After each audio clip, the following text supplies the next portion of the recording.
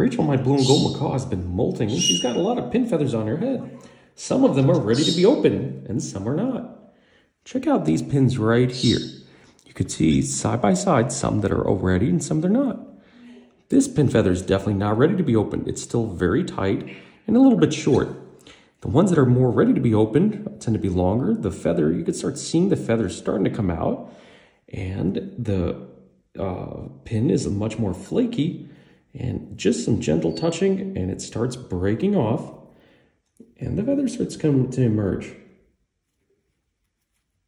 If it feels still a little bit tight, and leave it for another time and move along to another pin feather that's flaky, soft, and ready to be opened. You can see some of the feather already sticking out, both out of the tip and in the middle. So you can grab on that sheath and it flakes right off because it's soft and it's already ready to open. Nice new head feather.